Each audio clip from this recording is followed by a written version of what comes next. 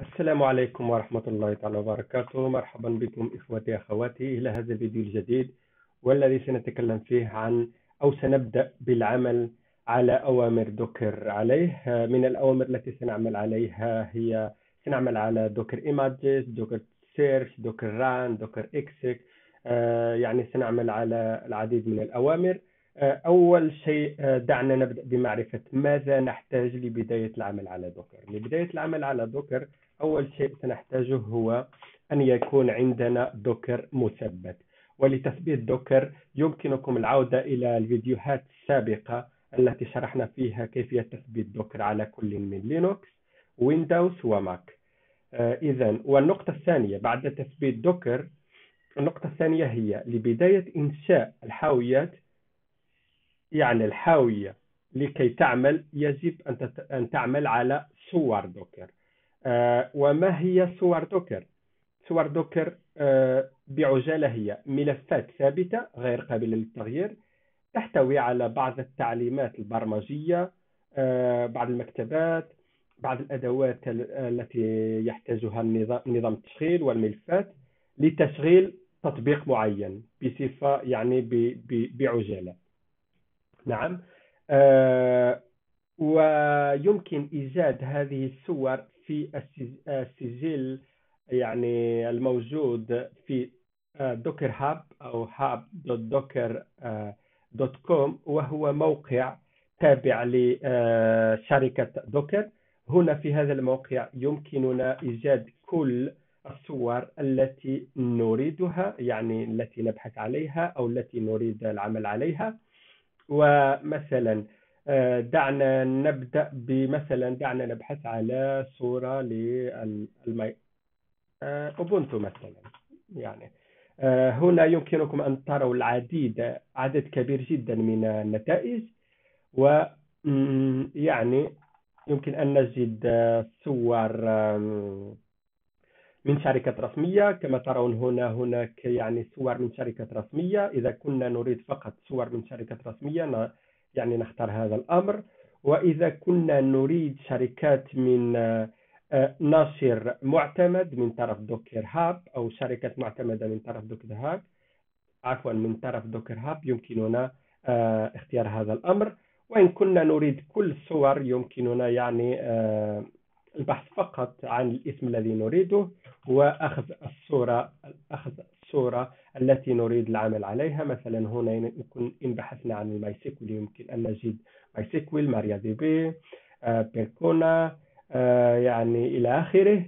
هنا يمكن أن نجد عدد آه، الذين يعني المبرمجين الذين عملوا على هذه الصورة أو قاموا بتنزيل هذه الصورة على حاسوبهم الخاص. وهنا يمكن أن نجد عدد العلامات التي حصلت عليها هذه الصورة. هناك طريقة أخرى للبحث عن الصور وهي عن طريق terminal وهي بهذه الطريقة يعني search و Ubuntu. نعم؟ بهذه الطريقة يمكنكم أن تروا أنه عندنا العديد من النتائج. آه، هنا يقول يخبرنا أن هذه الصورة مثلا هي الصورة من شركة يعني رسمية وهذه من شركة معتمدة.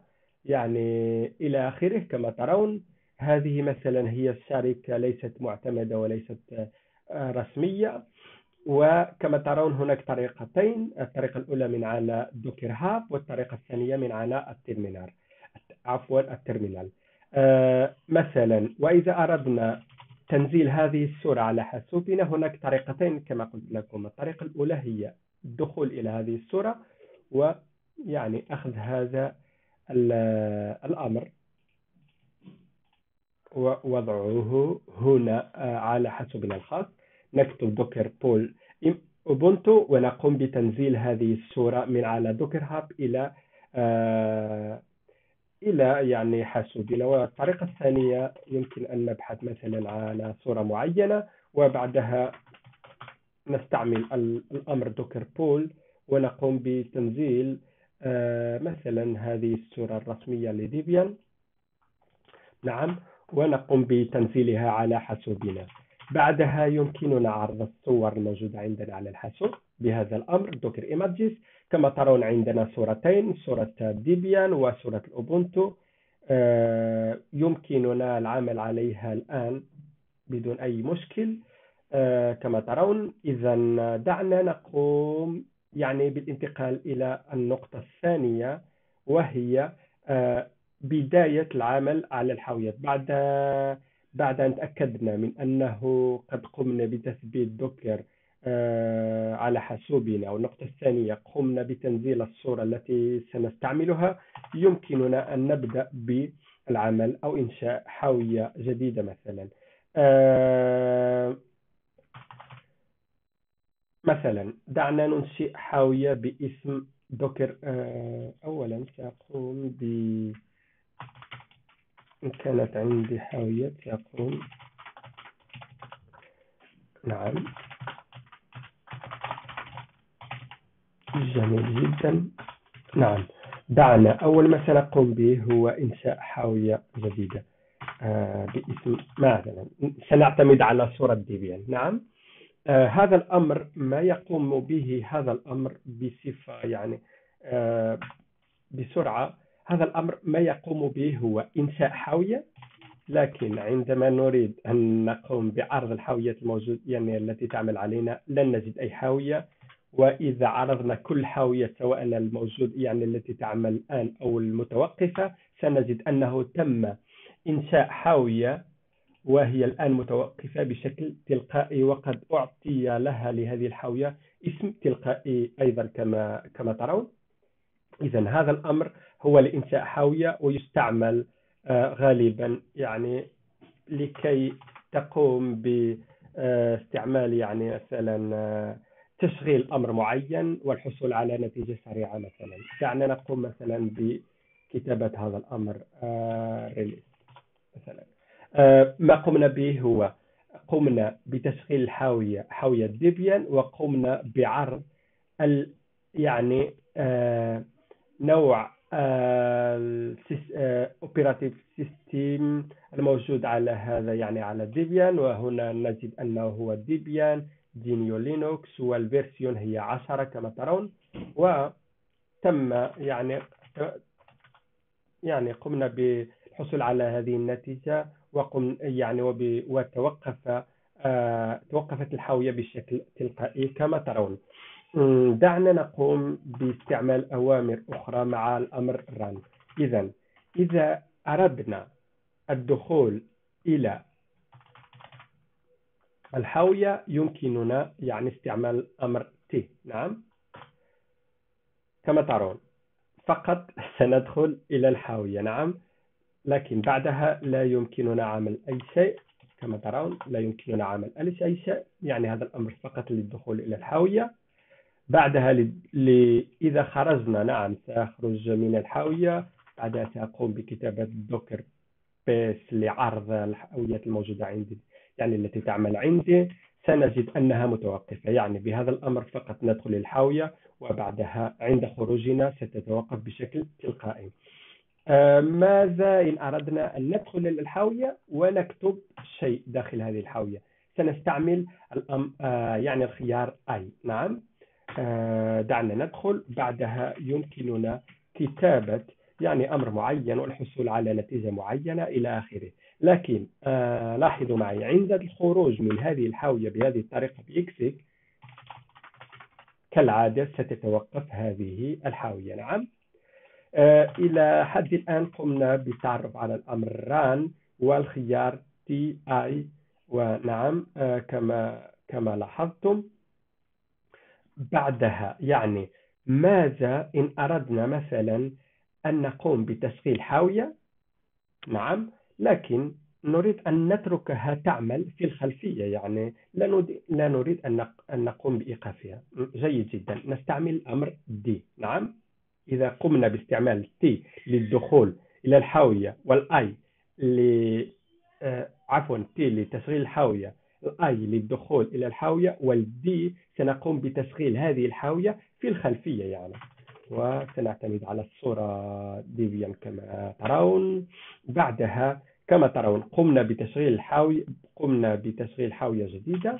وإذا قمنا بعرض الحاوية الموجودة عندنا مفاجأة. كما ترون عندنا حاوية الآن تعمل وليست متوقفة ويمكننا أن ندخل إليها بهذه الطريقة نعم آه، بكتابة هذا الاسم. والأمر باش نعم جيد جدا. كما ترون آه، قمنا بإنشاء حاوية ووضعناها في الخلفية تعمل في الخلفية ويمكن الخروج منها الآن. لن تتوقف. وللدخول إليها أمر مهم جدا أمر جديد وهو الإكسك نعم للدخول إليها نستعمل هذا الأمر. دعني أكبر يعني. نعم للدخول إلى الحاوية سنستعمل أمر إكسك كما ترون نعم والآن نحن داخل الحاوية. يمكن العمل عليها بدون أي مشكل. يمكن الخروج ويمكن عرض الحاوية الموجودة عندي. وكما ترون هي الآن تعمل بشكل جيد وعندنا حاوية تعمل كما ترون. لعرض الحاويات الموجودة عندي يعني التي تعمل حاليا يمكن يمكن استعمال أمر دوكر بيس ولعرض الحاويات سواء التي تعمل أو المتوقفة يعني آه، نكتب الأمر بيس والخيار آ نعم؟ كما ترون توجد عندي خمس حاويات آه، واحدة منها تعمل الآن والأربعة الأخرى هي متوقفة كما ترون. جيد جدا. آه، ماذا سنقوم به الآن؟ سنقوم بمسح هذه الحاويات. نعم لمسح هذه الحاويات.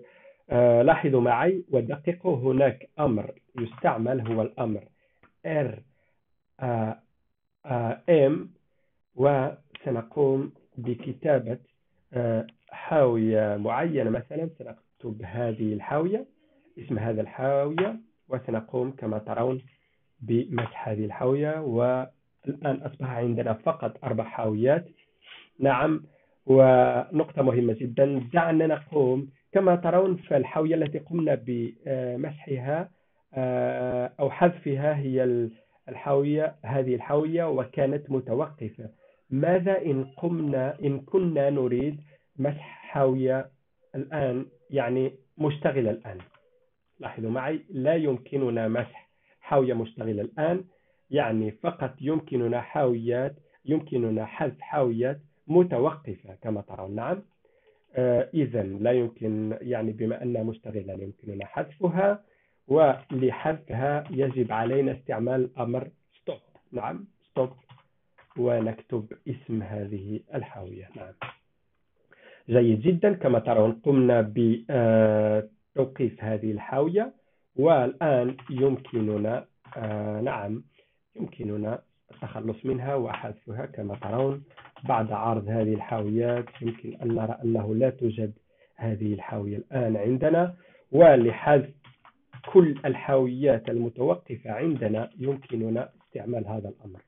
نعم. خاصة إذا كان عندنا عدد كبير من الحاويات سنقوم بكتابة إرآم إرآم وكما ترون لا توجد عندنا ولا حاوية. ماذا إن كنا نريد حذف الصور التي توجد عندنا؟ يعني الآن قمنا مثلا قمنا بعمل بالعمل الذي كنا نريده والآن نريد أن نقوم بمسح هذه الصور. الطريقة هي هذه. نعم.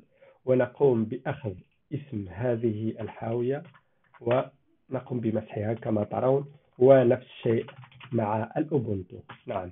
نقطة مهمة أيضا إذا كانت هذه الصورة مستعملة من طرف حاوية معينة لا نستطيع لن نستطيع آه، مسحها إلا بعد مسح هذه الحاوية كما قلت لكم. إذا هذا كل شيء. أتمنى أن تكونوا قد استفدتم من هذا الفيديو. والسلام عليكم ورحمة الله تعالى وبركاته.